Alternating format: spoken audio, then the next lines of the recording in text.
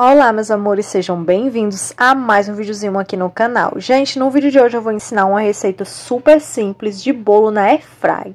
Tem a receita desse bolo aqui no canal, que é um bolo de cenoura que eu amo. Sem mais delongas, vamos logo para a receita. Primeiro você vai cortar duas cenouras ou três, ou então você pode ralar, que fica até melhor. Você coloca no liquidificador. Coloquei a cenoura, agora é a vez dos ovos.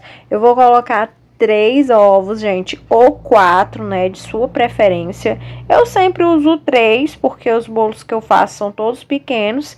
E com três ovos dá super certo.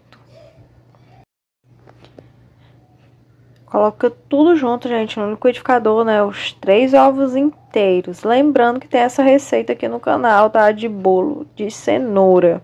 Super fácil. Gente, uso esse medidorzinho da Avon. Ele é maravilhoso. É do Mickey, gente. Ele tem 4 ou 5 vasilhinhas dessa. Que eu uso pra medir, né, as coisas. Essa daí é de uma xícara. Aí você coloca uma xícara de óleo. Gente, eu amo colocar óleo em bolo porque ele fica super macio. Eu não gosto muito de manteiga, não. Não vou nem mentir. Eu uso óleo.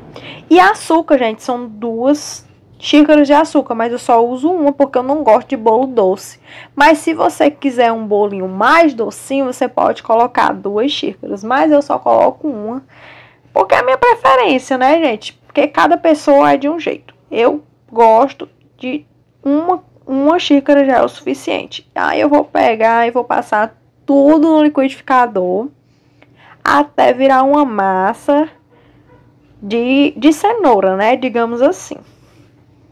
Vai passando aí bem direitinho nesse liquidificador para ficar top. Porque, né, gente, não pode ficar os pedaços grandes de cenoura, jamais. Então, faça esse processo até ficar uma massa bem homogênea e sem pedaços de cenoura dentro, pelo amor de Deus. Olha que massa linda! Arrasou, bebê! Ai, meu Deus! Ficou top essa massa. Muito top mesmo. Agora você pega uma vasilhazinha, né, meu povo? Qualquer um que você tiver aí. Essa daqui eu uso da, da minha batedeira. Dá super certo. Mas você pode usar qualquer um. Não tem besteira nenhuma, não. Você coloca toda a massa dentro. Tira o restinho, né, meu povo? Do, do liquidificador. Já comecei com esse negócio de meu povo. Para com isso. Não gostando, não. Você tira tudo do restinho do liquidificador pra dar certo. Eu não sei vocês, mas eu amo, gente, essa massa do jeito que tá aí, sinceramente. Eu adoro. Aí você vai utilizar a farinha de trigo agora. São duas xícaras, gente, de farinha de trigo sem fermento. Eu uso essa da fina. Eu amo essa massa. Ela é perfeita, dá pra fazer tudo. Aí você coloca, né, na massa de cenoura. Esse cremezinho aí de cenoura.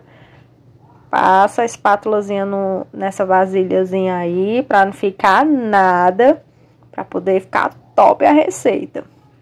Segunda xícara. Depois você vai mexer tudo que tiver aí. Aí já foi vários ingredientes, né? Super fácil, super simples e prático. Qualquer pessoa consegue fazer. Se você tiver batedeira, você também pode estar batendo na batedeira. Eu tenho, gente, mas eu tô com preguiça de pegar. Ah, eu prefiro fazer na mão mesmo, já, aí é mais prático. Gente, eu uso este fermento maravilhoso do Torote, que é bem baratinho, acho que é uns R$2,30 aqui. E, para quem não sabe, a medida do fermento é a tampinha. Gente, eu passei, foi tempo para descobrir isso, mas graças a Deus eu descobri. Porque antes eu colocava uma colher e às vezes não sai a medida certa, entendeu? Aí já a tampinha já é a medida certinha do fermento. Olha que coisa legal, né? Uma dicasinha para você. Você mexe, mexe bastante pra, massa ficar bem legal, gente, sem aqueles, sem aqueles bolos, né, sem ficar assim, é, com resquício de massa, pra ficar tudo amarelinho assim, amarelinho, laranja, né, de parecido mesmo cenoura. Eu já untei a, a forma, já passei a, a, a, a farinha de trigo, e agora eu tô colocando toda a massa, né, que a gente fez, que eu acabei de fazer, na forma de bolo. Olha que coisa mais linda, meu Deus! Fica lindo demais! Aí, gente, eu vou aproveitar e vou fazer um pequenininho também. Sobrou a massa e eu vou aproveitar. Tá um pouco escuro, porque né, aqui a cozinha não ajuda. Agora eu vou colocar na airfry. Já coloquei pra aquecer, né? Pré-aquecer, no caso. Entre 5 e 10 minutos em 180 graus. Pra você, né? Pré-aquecer o, o a airfry. O forno, só quero falar forno, airfry, viu? Aí eu vou colocar agora e esperar 30 minutinhos. Eu vou colocar 200 graus. Pode colocar 180 também. Mas eu quero que termine logo. Aí eu vou colocar em 200 graus. Coloquei aqui, ó. Tem pessoas que colocam um papel alumínio. É bom que coloque. Mas como eu não tenho aqui, gente, eu não vou colocar. E sempre dá o certo, né? Mas se você tiver, melhor ainda. Aí você coloca a parte brilhosa pra baixo. Parte brilhosa do, do papel alumínio. Gente, eu amo demais bolo de cenoura. Meu Deus do céu. Como a minha airfryer é pequena, eu tive que tirar o cesto para poder usar só essa partezinha aqui de baixo. Porque assim, para você que não sabe, a airfryer dá para fazer tudo. Tudo neste mundo. Gente, eu faço, eu cozinho ovos, eu, focando aqui, ó. Eu cozinho ovos, eu faço lasanha. Eu uso ela praticamente como um micro-ondas para várias coisas. É muito útil ter um, um air fry. Gente, e tem épocas que, que, ela, que ela tá em promoção, né? E outra que ela frita sem óleo. Melhor ainda. Melhor ainda para nossa saúde, né? Pois vamos lá. Assim que ficar pronto, eu volto e mostro para vocês.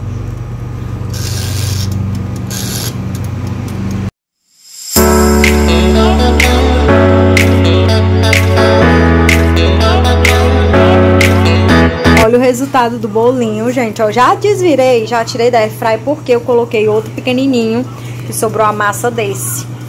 Olha que coisa mais linda. Tá aqui, gente, o pequenininho, ó, já tá terminando. Aí por isso que eu tirei logo o grande e nem mostrei, mas tá aqui, ó. E pense num bolo cheiroso, viu? Te dizer. Pense num bolo macio, gente. Fica perfeito, né? Fry, no forno. Essa receita é super simples, né? Como eu falei. E fica demais mesmo esse bolinho. Fica maravilhoso. Olha o pequenininho também, que lindo. Gente, agora eu vou desvirar, né, o pequenininho. Porque eu não mostrei do grande, mas tô mostrando aqui do pequeno. Olha que coisa mais bonitinha, meu Deus. Essas forminhas eu comprei pro aniversário das gatas, aí eu tô usando. Fiz ele até pra dar a minha prima, que hoje é aniversário dela.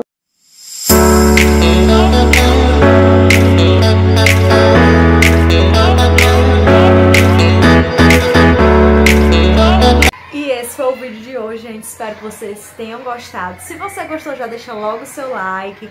Se inscreva no canal. Estamos rumo aos 4 mil inscritos. Vai lá, se inscreve. Nos ajude também nas horas.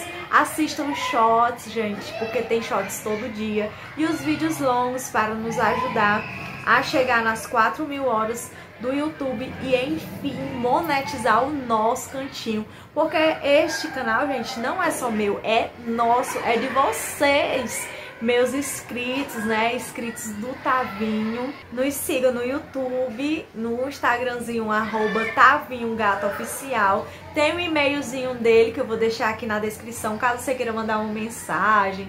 O que você quiser falar com ele também, dá pra mandar pelo Instagram ou pelo, pelo e-mail.